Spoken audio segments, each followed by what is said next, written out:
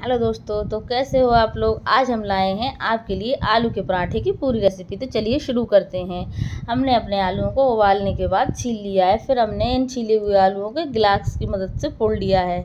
आप चाहें तो कटोरी भी ले सकते हैं। देखिए, अब हम इसमें डालते हैं कुछ बेसिक मसाले। जिसमें डाली हमने लाल मिर्च, स्वाद अनुसार नमक थोड़ा सा चाट मसाला और अपनी बारीक कटी हुई हरी मिर्चें। इसके बाद हमने डाला है आधा चम्मच जीरा और आधा चम्मच गरम मसाला और धनिया डाल के इसको मिला लिया है। फिर इसके बाद हमने लिया है एक इंच अदरक का टुकड़ा और अदरक के टुकड़े को हमने कद्दूकस कर लिया है अपने आलू के मसाले में। चलिए अब आगे बढ़ते हैं। एक कढ़ाई में लेना है सरसों का तेल, उसमें डालिए आधी कटी हुई प्याज।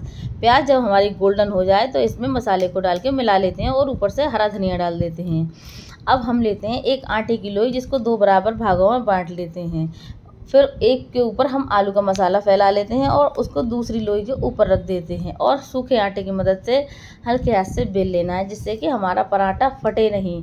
अब अपने गर्म हो रहे तवे के ऊपर हम अपना पराठा डाल देते हैं और दोनों तरफ़ से सेक लेते हैं। घी, रिफाइंड, मक्खन, आप जिसमें चाहे सेक सकते हैं।